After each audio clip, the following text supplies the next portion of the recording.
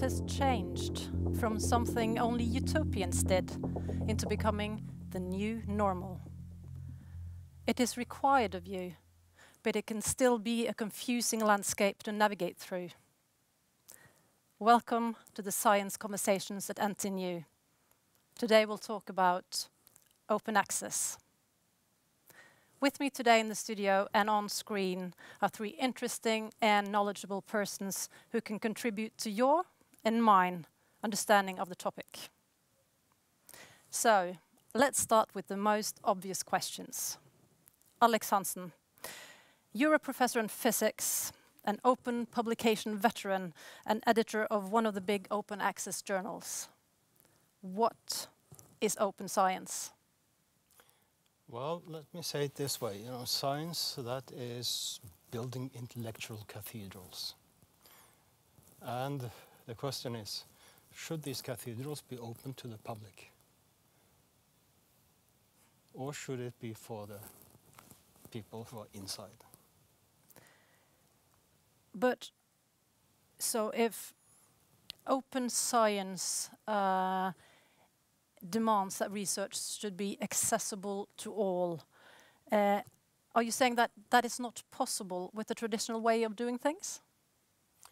No, and on many, many levels. Uh, I mean, um, we're in the middle of a huge technological change now with the internet and, and uh, this easy access to, to information you know, I mean, we can in two days uh, amass as much uh, information as our grandparents did in a lifetime.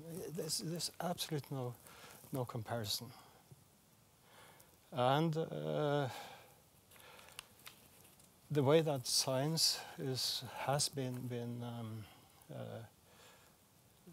given to the public has been in an old way through libraries and so forth, and that system worked very, very, very well. But now there's a completely different uh, level of access. And simply we cannot use this old-fashioned way of, of, of uh, you know, having things in libraries. Libraries are a little bit, you know, yesterday, very much yesterday. Uh, we have to make it open, simply, yeah. with today's technology, not with yesterday's technology. Uh, Henrik Karlström is with us here on screen. He works at the university library. Uh, might be outdated in some ways, but it's a, a very important resource for NTNU when it comes to open science. Uh, Henrik, could you please help me sort some of these terms out because you have you have open science, you have open access, you have open data, you have open publications are these just uh, several names for the same thing, or how do they all fit together? I would say that they um, they fit together in if you look at open science as a, a full process um, of uh, making research uh, transparent um, throughout the entire research process. So traditionally, we have talked about things like open access. We have been talking about open access to the end product of the research process. So the final publication that results, that comes out of a research project and uh, where you describe the things you've done and your conclusions that arise from the process of research that you've been through.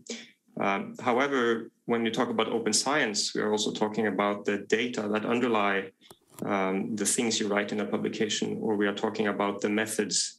Uh, we are talking about um, increasing the transparency for how do we reach our conclusions as uh, scientists. So, uh, open access is concerned with the end product of this process, while open science concerns the the, the whole process from uh, from the initial uh, definition of the research problem until the final product, which is uh, publication, and, and beyond to the communication efforts after you've published something.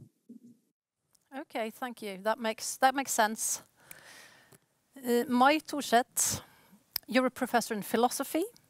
You are the, the director of Program for Applied Ethics, and you have been in the Research Ethics Committee. Why is open science important?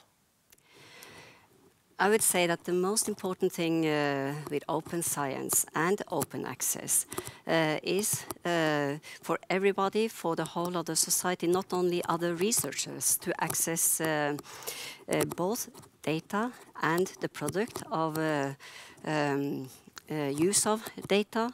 and I would also actually bring in um, um, NTNU's vision here. I mean, to produce knowledge uh, for a better world. And I think that's uh, what it uh, intends to, because it used to be a case that the products of research was mostly um, for those who could easily access it. So, so dissemination uh, is an important thing, and um, so, so, I would say that it's it's uh, both for the benefit of the research society, but also for the society at large. Um, so that's the that's the, the shorter uh, issue, and I would uh, we could come back to this perhaps, but uh, it's also uh, when thinking about research ethics, uh, uh, the the ethos or the idea behind open access complies with what we consider to be very important in research ethics, and I think I could take the opportunity to to mention what captures this ethos uh, is uh, um, yeah is kept in this uh, so-called CUDOS uh, concept, uh, which is actually an acronym, and it was Merton in 1942 uh, who first started to talk about it. But, so it we could say maybe it's a bit old-fashioned, but it's not. And I think it's more important. So I just briefly uh, say something about uh, what um, CUDOS stands for. Uh, the C first stands for communism, which is uh, not a political. it's the the very idea is that it's uh, it, it's about common knowledge um, or ownership of knowledge, and this common ownership is important. And then it's um, universalism, that's the U, uh, which is about disregard of who puts forward knowledge claims. So it's not what uh, journal, what publication, or what uh, author, but it's about uh, something which is uh, not to regard this. And uh, disinterestedness is another part of this ethos, which is that no, there should be no value-based bias and also no personal gain, which is also an economic issue. And then uh, maybe the most important is the organized skepticism. Uh, we have a review, we have peer reviews, we have uh, research ethical committees. Um, uh, and the main thing is that uh, in order, not both for the research society, but also for the broader society to um, to be uh, to make sure that uh, the knowledge that is produced and disseminated is trustworthy, and that's the reason why we also need this. And the last uh, point is originality. I mean, the whole point of, of research, after all, is uh, to produce something which is to, to go forward, to produce something new, rather than repeating what is already there. So we're touching up on some really big fundamental questions there. Uh, Alex, um, do you think that open access is seen uh, differently in different research disciplines? You're from physics. Yes, I mean there are some disciplines that are more conservative than others, and, and uh, uh, so definitely there, there is there is a difference. Uh, I can see that very clearly. Um, and it also has a little bit to do with, with the funding. I mean, some disciplines are simply more funded than others. And, and but you know, I mean, the whole uh, open access uh, movement, or whatever you should call it, is is under development. It's not a finished uh, thing. Uh, what we've had is, is this huge shift in technology, and, and uh, what we now see very clearly is that the old models don't work anymore, and we have to find something new. But I don't think we have the ideal yet. So we have to work towards it. And, and, uh, and that I think is why you see some different levels of, of, um, of um, uh, attitude toward, towards open access. But let me say something, I mean, about, about open access, uh, come back to your first question. Um, you know, when you think about it, science, you know, that is that uh, you you pose, you make statements, you have ideas, and they are debated. And the way you debate it in, in science is through through the review, review process and so forth, discussions at meetings and so forth. But when you think about it, that's also the essence of democracy. The, not, you know, that we have elections and so forth, but people come with ideas, and these ideas are debated, and then you, you find the best solution. And the thing now is that you know if the if you think about the way one is doing science now, it is uh, these debates are behind closed doors. It's like the uh, the parliament should have their doors closed and do things, and you had to pay a subscription to see what they're doing. That doesn't work. It's the same thing with science. I mean, if people think that the science uh, really is something we should not care about. I mean, look at pictures of the world from 1900 and compare them to pictures today. What's the difference? Well, that's the science that happens between 1900 and, 19, and 2021. Hmm. It concerns everybody. It does. Uh, Henrik, uh, Alex uh, said that this is a this is a process. It's not finished yet, uh, and I guess there are a lot of uh, policies and rules and regulations. Do you is this something you see at your work at the university library? Uh, that open science is an ongoing work in progress. You mean? Yeah. yeah.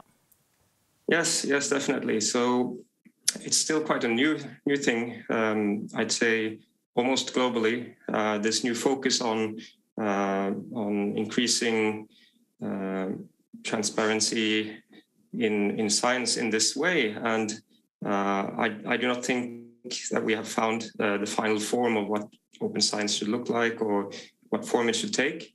Um, but um, there is an ongoing discussion about where do the limits for, for this openness uh, lie? And obviously, we're talking about uh, research ethics as well. There are certainly some questions where, some situations where the demand for openness can um, can uh, can butt up against other considerations that are of an ethical nature. So I think we're still uh, trying to figure out exactly where these delineations should should go.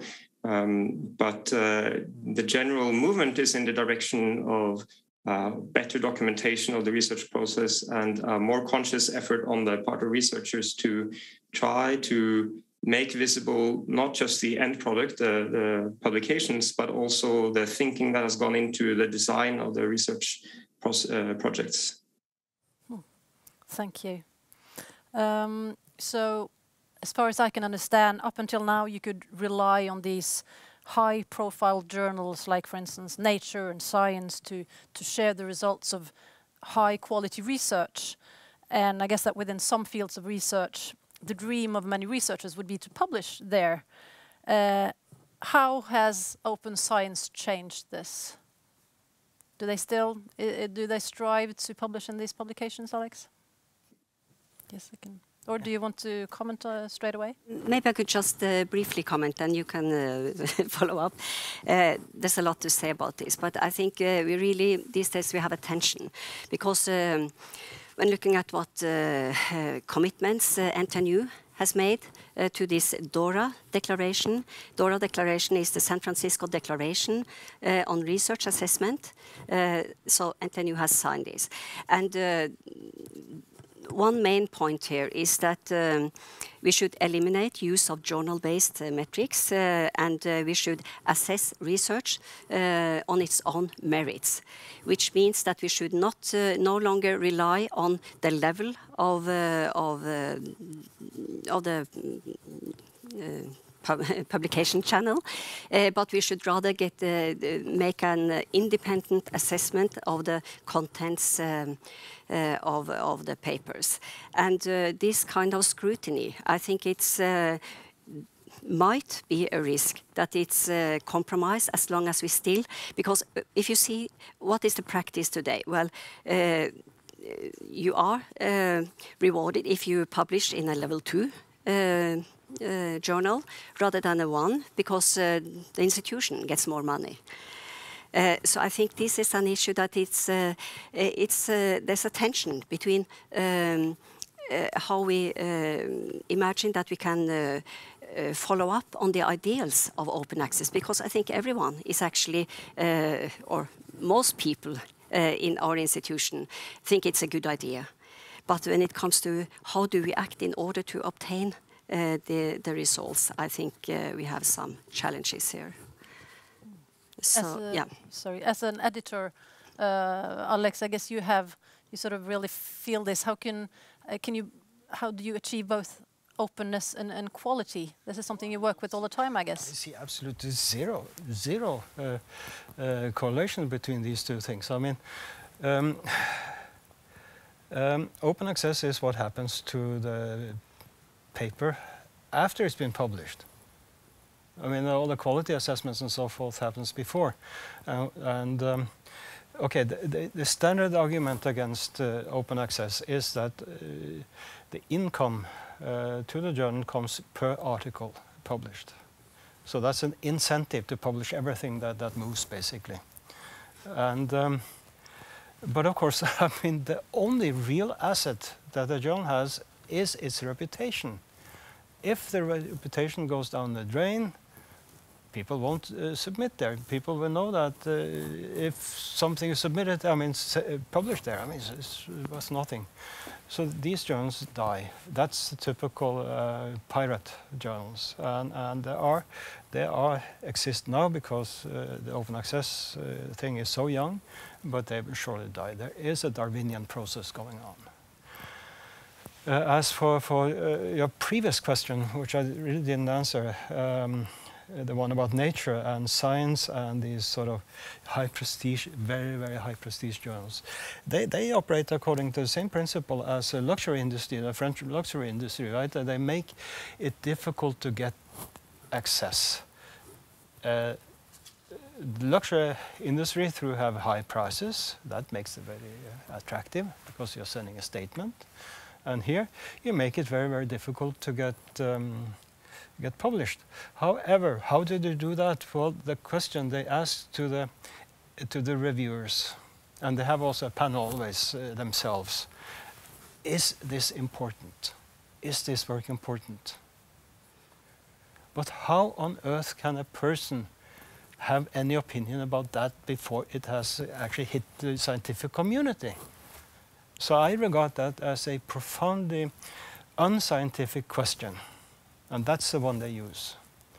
And luckily, what is happening now, I mean, that trend hasn't really developed, but it is certainly coming, absolutely guaranteed coming. Namely, that, that um, the publication channel is becoming less and less important, exactly what you said.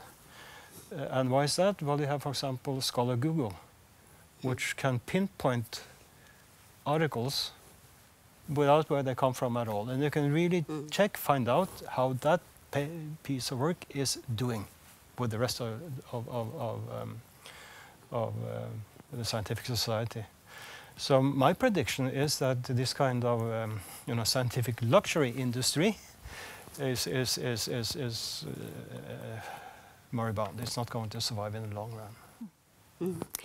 Uh, if I could just uh, comment uh, shortly on this, because I think I think you are quite right. I think we are on the right track, and and we will uh, make the systems work uh, the way we want them to. Uh, but I think there is a challenge uh, for the individual researcher, especially young people, uh, to, to have the sufficient overview and to understand how to navigate or because as an experienced professor, you would know all this, you know what to look for. So I think that's also a challenge with this new system if, if you ask an average PhD, may, maybe in some fields they are quite knowledgeable, but I think very many uh, are not. So, so uh, I think uh, there's also uh, a knowledge gap probably here within academia.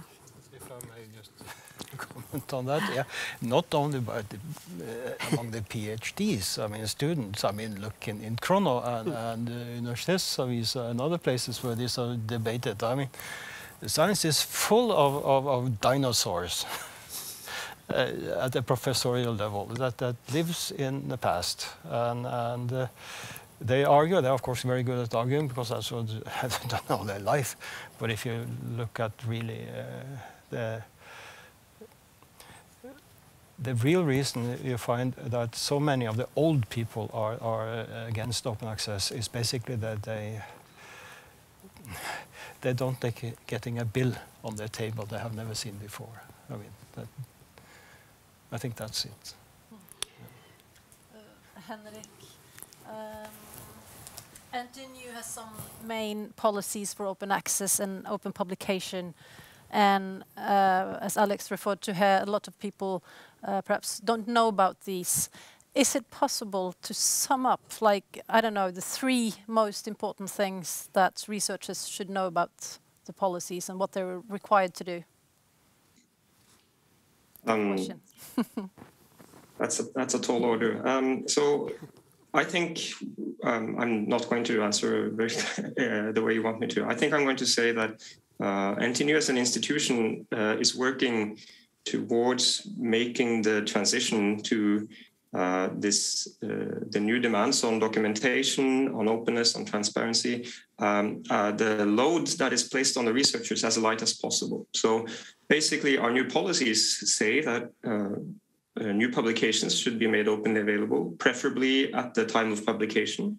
Um, you should deposit uh, research data where possible and practical. Um, when after processing and, and publication of the results, um, and everything should be made uh, as openly as possible and as uh, and as close as as they have to be. Uh, but the the main um, uh, thing that I would like researchers at NTNU to to be aware of is that we are really working to make towards making this process as painless as possible for the individual researcher. So um, traditionally, as Alex said, uh, the researchers have not had have, have never seen the bill for what they are uh, consuming of, of, of, scientific literature because uh, we at the library have have paid for reading access to to that sort of thing. And the ideal in the future is that the uh, anything the organization of payment for publication should also be done at the institutional level so that the individual researcher shouldn't really have to care about uh, these monetary issues. It's not it's something that should be solved on an institutional level. So so the message is um, I think the researcher has to make a transition towards thinking about how they can uh, increase the transparency uh, of what they're doing in, in all throughout the research process. And that that puts an extra load on them when it comes to uh, documentation. But all the other parts uh, we should we are striving to handle as an institution so that we can continue to uh, to to to foot the bill for open access and also to provide their infrastructure that researchers need to do to meet these new demands on documentation and, and accountability that uh, that we are meeting. Thanks. Yeah, you had a comment? Yeah, uh, just a short comment because uh, I think uh, if, if, we ask, uh, go back to what, what is the main point uh, of open science, open access? It is to enable uh, researchers to keep sufficient immaterial rights uh, to comply with the open access demand.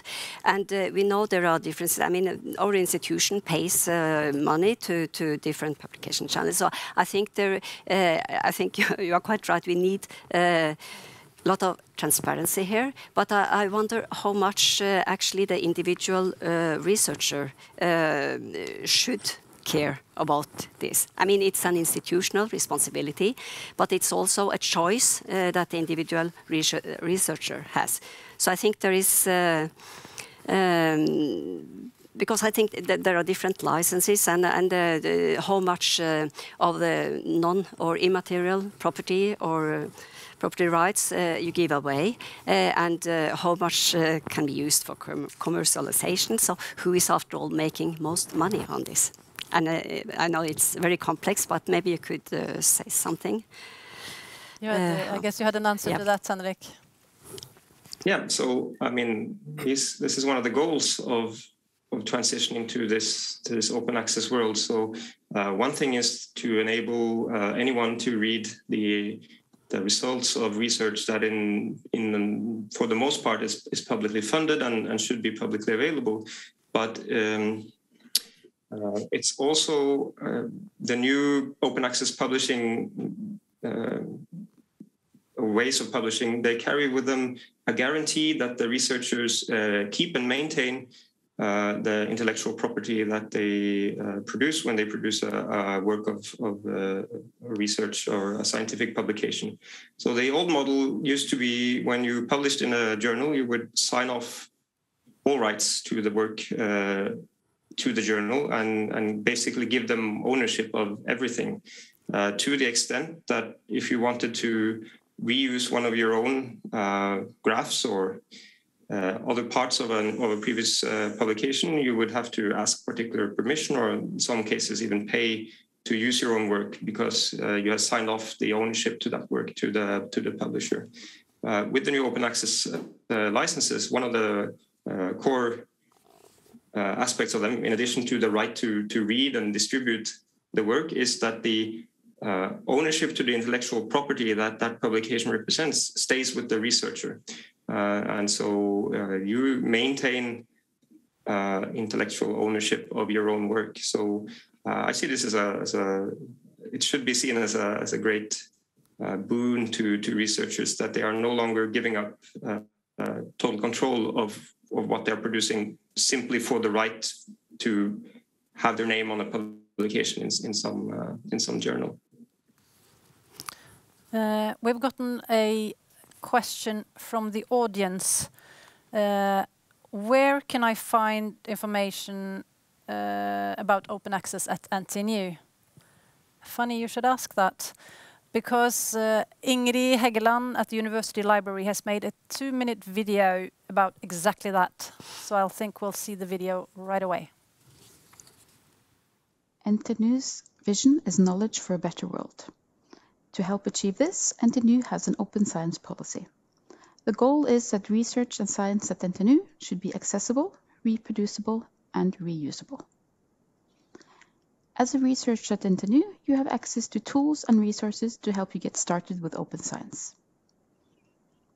One important aspect of open science is open access to publications. The publishing page at Innsida helps you get started and gives you relevant information. This includes the policy for open science at NTNU, and also more practical information, like what agreements do we have with publishers? Check whether your journal is part of the agreements. Other options might be to upload your manuscript to Cristin and make sure it's published with green open access. More detailed information is available on several wikis. If you can't find the information you are looking for, you can contact the publishing group at the University Library. In addition to open access to publications, other research outputs can also be published openly, for example, research data and source code. The research data page at Innsida gives you relevant information about how to handle and share and publish research data. You can, for example, publish your research data alongside your publications at NTNU Open Research Data, our own repository for research data. We also have information on how to set up a data management plan. If you need more information, we also have courses in the virtual library and other online courses on topics like open access publishing and research data management. You can always contact us at Research Data at NTNU Hjelp for more information, advice, and guidance. And remember, your research should always be as open as possible, as closed as necessary. Thank you, Ingrid.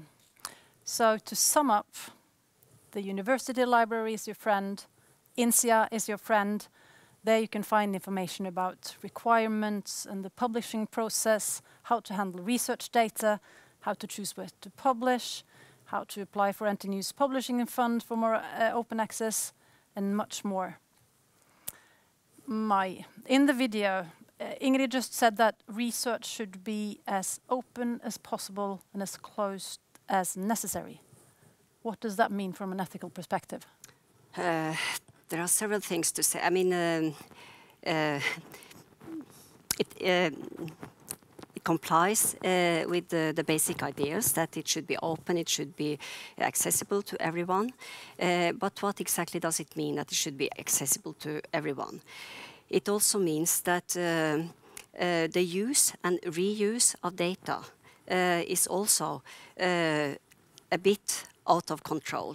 I mean, that's a consequence of having uh, open uh, open uh, science and, and uh, open access, which means uh, that the possibilities for misuse or, or, to use important sensitive data for harmful purposes is something is, is an another risk that follows.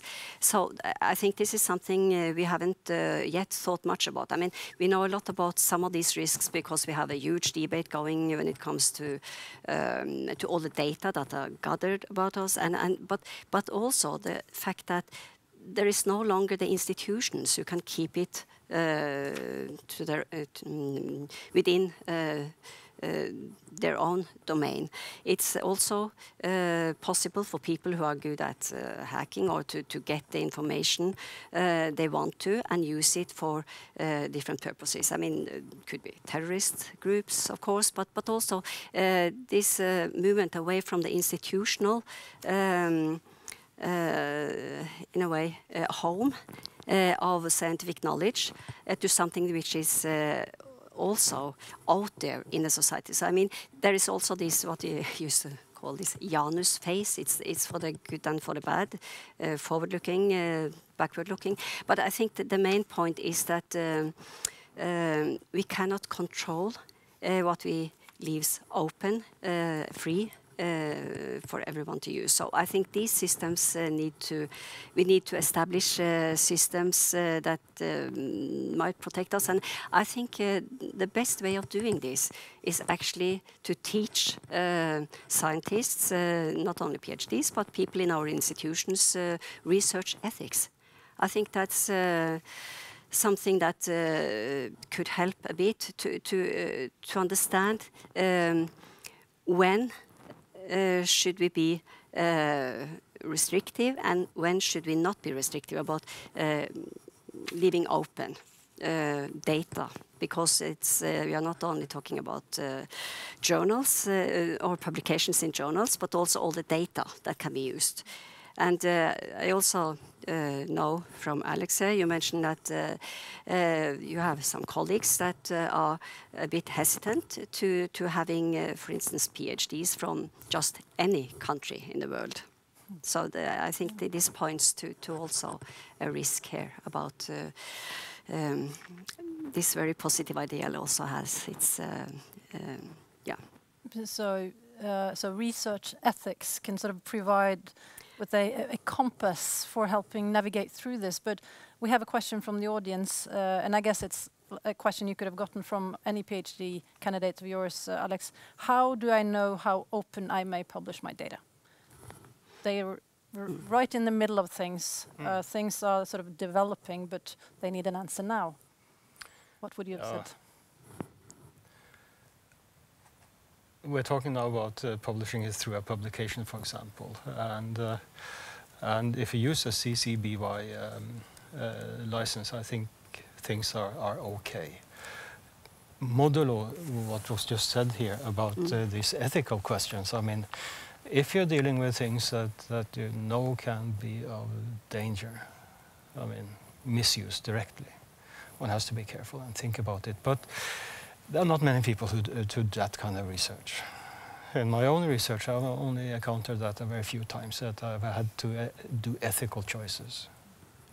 But apart from these things, I, I think that one should be as open as possible. I mean, after all, I mean, it is the, um, the public who pays us, and they have a right to know what we're doing, all of it. Uh, my, we have a follow-up question from the audience. Where may I learn more about research ethics? Uh, if you're talking about NTNU, uh, there are there are uh, actually some courses established. Uh, uh, one digital course that is now mandatory for all uh, PhDs, and um, like people from Program for Applied Ethics are involved in, in teaching in PhD courses uh, where they all all um, after we got this new um, uh, research uh, act from 2017, it's uh, also mandatory for the universities of Norway to teach their PhDs. but I must say we, we still have a, a, problem because we also have people who have been there for a while and who are not necessarily that much into research ethics. But I think um, uh, what we need to do is to to um, to do not only a short mandatory course as we have established now, and uh, but also to to keep talking about this, to to, to turn uh, the ethical aspects uh, into um, the research uh, debates as such, because there's a very close link between knowledge produ production and uh, ethics, and if it's not ethically okay, it's probably also not uh, trustworthy knowledge uh, that is produced. and there's a lot to be more to be said about it, but I, I think that um, uh, for PhDs, it's uh, it's uh, quite easy because there are some things you have to do, and the faculties are also mandated to to follow up with more thorough courses in in research ethics.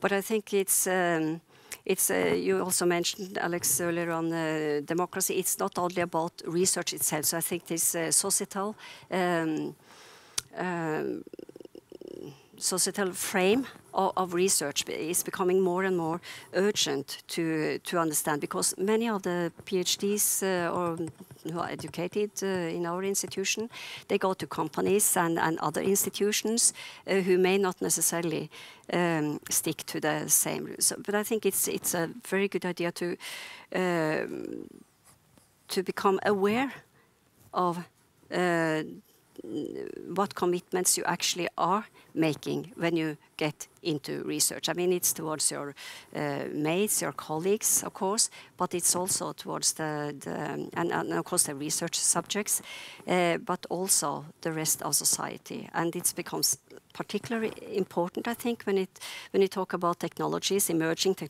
technologies, where you cannot actually foresee. That's the whole point. You cannot foresee all future use of, of them. Uh, um, but but we, we we still need to to um, um, to try to, to, test our own imagination uh, and ask some basic questions whether this could be used for a purpose that I didn't intend it to be used for. Okay. Yeah. So, so uh, from the basic questions that you have to consider as a researcher, I have a very practical one, uh, and I'll address that to you, Henrik, because Ingrid, Ingrid mentioned in the video uh, green open access. Can you uh, tell us shortly what that is? So in the open access world, there is a there's a whole plethora of colors that you can um, yeah, you may have to deal with when it comes to open access. So basically, uh, it has to do with when uh, or what kind of manuscript are you making openly available. So um, there are different routes to making research openly available. Um, there, when usually when we talk about open access, we are talking about uh, the kind of model that Alex was describing earlier, where uh, you publish in a journal where you uh, pay the journal a fee to make the, the publication uh, itself open available at the time of publication. And this is one route, and it's often called the gold gold open access route. Um, however, some uh, publishers do not offer this option, uh, or sometimes uh, there might be monetary reasons for why you don't um, you don't uh, go for this. You will always have the possibility to uh, deposit a version of your publication in an institutional repository, and this is known as green open access. And uh, you can make uh, the author's accepted manuscript uh, available through a, a, repository instead of the actual publication. And so there's always a possibility to make the content of your research openly available uh, in some way or another. Um, so, so this is what is meant by green open access, and it's uh, it's how we are trying to achieve uh, the maximal share of open access publication uh, at NTNU by by a combination of these immediately open, openly available uh, uh, publishers versions and the authors accepted manuscripts uh, through our uh, institutional repository NTNU Open. And uh, at the Innsida webpage for publication, you can you can find more information about how you uh, go about uh, archiving your publications in NTNU Open to fulfill the open access mandate, even for those publications um, that are not uh, made open access through the, the, the journal you're publishing in. Thank you, Henrik. Um, Alex, you have many young researchers in your research group, mm -hmm. and they are affected by uh, the open science um, processes. Uh, what would you say are the main responsibilities of supervisors uh, when it comes to open science? Yeah, um, of course, um, these young scientists have to make a career, and, and uh, what you have to do is to, to um, help them the best you can. I mean, find the, the proper balances. And uh, one thing, of course, is to get them as many citations as possible for, for their papers, and, and, that certainly is open access. There's a huge difference between, um, you know, things behind paywalls and, and open mm. access. But then comes the question, and that really hasn't to do with, with open access or not, but this is a question I'm myself is struggling with. Uh, because, you know, as a very well established, uh, you know, uh, scientist, um, when I publish something, I want to address my community. I mean, uh, I want them to learn what I'm doing so that they can, you know, get that into their work and so forth. That we have this interplay. Uh, the need for young scientists is, of course, to get a job. And the way to do that is to have something to show for you. And that's when you go for these high profile, big deal journals, which are really glossy magazines in reality, I would say, some of them. And um, so that they they need to, to, find a balance between that struggle of, of trying to dumb down, sorry, uh, to, to publish there, because they have to write for a wide audience, and then really to give all the details and, and really be heard by the community you belong to. Mm. And for me, that's I, I, have not been able to find an answer, so I try to do a, do a little bit of both. Mm. Yeah. Sure. Yeah. I think uh, we are touching upon something very basic. It's not only that uh, we had this tension between the DORA declaration and uh, the old system and the new system, open uh, access, uh, uh, rather than first looking at the level of the journals. But I think what is required here is a change of the culture. And, and I think it's an institutional responsibility. because I think many people in our institution struggle with exactly this. Mm. What should we choose? But I think it's good to, to bring this up and, and continue debating it. Yeah, I think that um, uh, in the end, if I now taking a broader view of this, what is best for science and what is best for science is best for humanity. Mm. And that is that you should forget about these hoity-toity journals and go for the the ones that actually address the right communities. Because is it important enough? It will be spread out anyway. We are approaching the end, and I will let that be your take-home message for the day, Alex. Okay.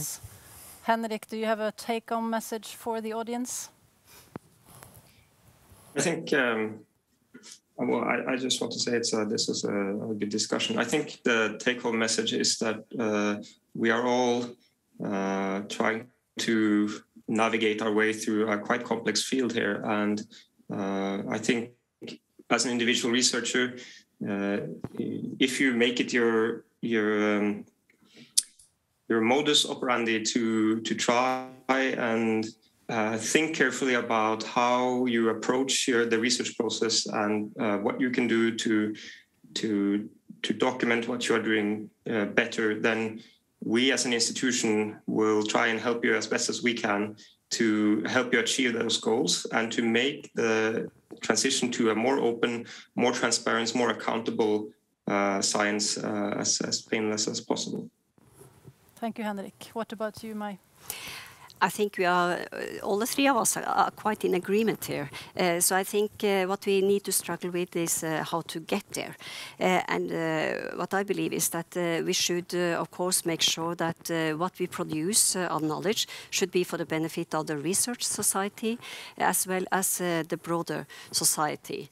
Uh, and uh, then we, which brings us back to, to how to make, uh, to turn NTNU into um, an institution producing knowledge Eh, for a better world. Eh, there is, eh, I think the best thing we can do is to keep de debating these tensions we still have and have a broader discussion, not only here, but all over in our institution. It's a very good point. Today has you have heard about open access and some of the aspects it entails. We hope that you've learned something useful and that you've gotten some new ideas. The next science conversation will be on December 2nd and we'll talk about how to build a good research environment in your group. I hope to see you there. And in the meantime, keep the conversation going.